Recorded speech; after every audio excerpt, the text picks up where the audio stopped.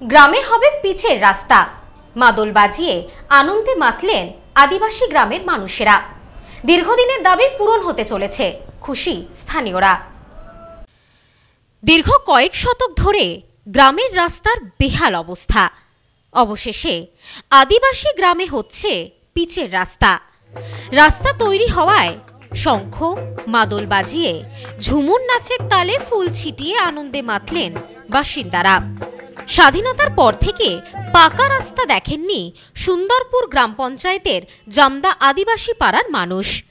স্বাধীনতার পর থেকে বেশ কয়েকবার ক্ষমতার বদল হয়েছে।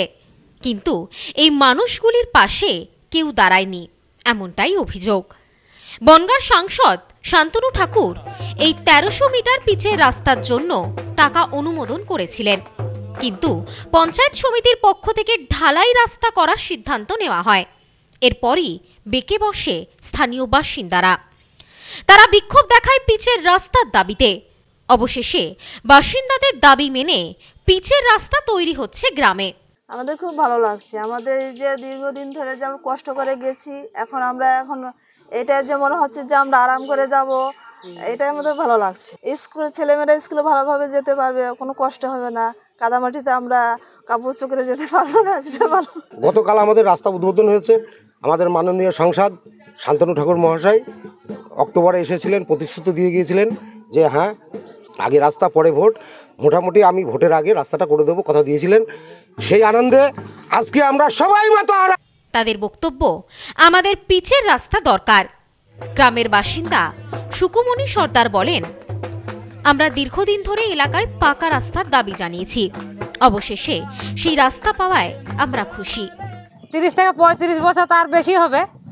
তা রাস্তার পরিস্থিতি খুবই খারাপ ছিল। হ্যাঁ রাস্তার কাজটা শুরু হয়েছে। আমাদের খুব খুব খুশি। এখন আমরা খুশি হয়েছে কি বলব সেটা মানে কল্পনাও করতে পারছি না। আর ব্যাপার হচ্ছে যে আমরা এই যে রাস্তাটা হচ্ছে, তাতে করে আমরা ভাবছি যে আমাদের বাচ্চা বাচ্চাগুলো মানে সুন্দরভাবে যাতায়াত করতে পারবে। সমস্যা হয়েছিল আমাদের যে বিরোধী পার্টিরা মানে এই রাস্তাটা নিয়ে মানে ঢালাই করার জন্য মানে ওরা উঠে পড়ে লেগেছিল। তা সেটা আমরা করতে দিইনি। আমরা চেয়েছি আমাদের এখানে পাকা রাস্তাটা হোক। বিজেপি নেতা সুমন অধিকারী বলেন সাংসদ পিচের রাস্তা তৈরির জন্য অর্থ বরাদ্দ করেন কিন্তু তৃণমূলের পঞ্চায়েত সমিতি ঢালাই রাস্তা করার সিদ্ধান্ত নেয়। আমরা এর প্রতিবাদ করি। অবশেষে পিচের রাস্তা পাওয়ায় খুশি সকলে।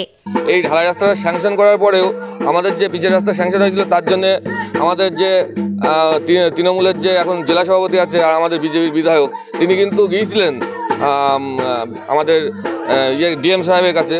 গিয়ে বলে এসছে যে, আমি পরবর্তী হচ্ছে এমপি আমি এই রাস্তাটা করে দেবো রাস্তাটা বন্ধ থাকে। সেই জিনিস উপেক্ষা করে এবং আপনাদের চ্যানেলের মারফত যে আন্দোলন দেখে কিন্তু আজকে ডিএম সাহেবও কিন্তু আমাদের এই রাস্তাটা পিচের রাস্তাটা তৈরি করতে করার জন্য অনুমতি দিয়ে দিয়েছে। অলরেডি কালকের থেকে কাজ আমাদের শুরু হয়ে গিয়েছে এবং কাজ চলছে। আপনারা দেখতে পাচ্ছেন যে কাজ চলছে। গ্রামে রাস্তা তৈরি হচ্ছে। এদিন এই আনন্দে রীতিমতো মাদল নিয়ে নৃত্য করতেও দেখা যায় গ্রামবাসীদের। এই বিষয়ে অপর এক গ্রামবাসী বলেন বহুদিন ধরে এখানে পূর্বপুরুষ বাস করছে। তা চিরস্থার জন্য এই রাস্তাটা কাদায় পড়ে থাকতো। তা ওই এখন আমরা খুব যোগাযোগ করে শান্তনু ঠাকুর এসেছিল, এসে আমাদের কথা দিয়ে গিয়েছিল। সেই কথা রেখেছে তিনি। হ্যাঁ পিচের রাস্তা স্যাংশন করে। সমস্যা আদৌ ওরা আদৌ তৃণমূলের লোক ঢালাই করার জন্য উঠে পড়ে লেগেছিল। আন্দোলন করে সেই রাস্তাটা এখন পিচের স্যাংশন হয়েছে বা কাজ শুরু হয়েছে।